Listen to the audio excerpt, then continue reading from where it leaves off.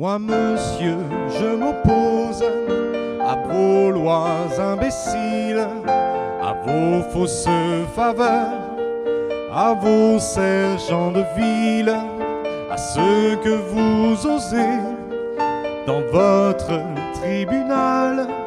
Appelez la justice, appelez la morale. Je n'ai jamais été ceux qu'on dit rebelles ou de ces pauvres gars qu'on nous dit criminels. Je suis un travailleur, enfant républicain, ou comme vous le dites, un de vos citoyens.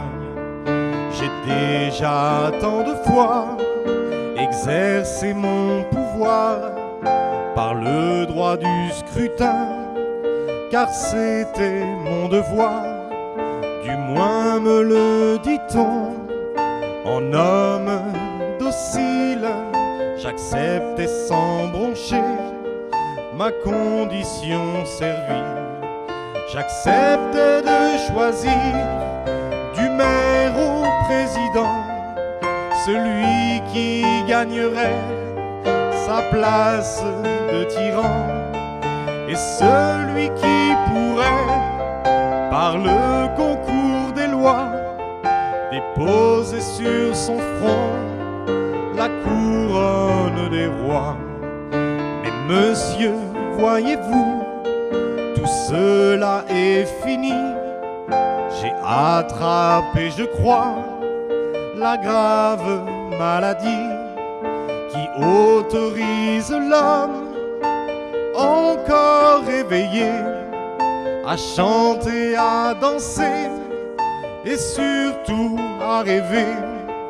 J'ai écrit quelques vers, je me suis fait poète au milieu de mes mots, souffle un vent de tempête, une odeur de révolte, un air de liberté, le sublime idéal société.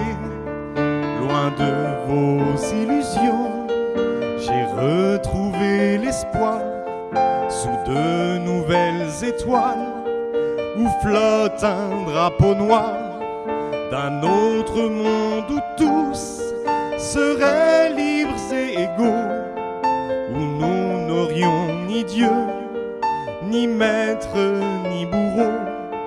Monsieur, pardonnez-moi froissé, je ne crois plus en vous et j'ai déjà changé mon nom de travailleur pour poète maudit, pour que change ce monde et vive l'anarchie.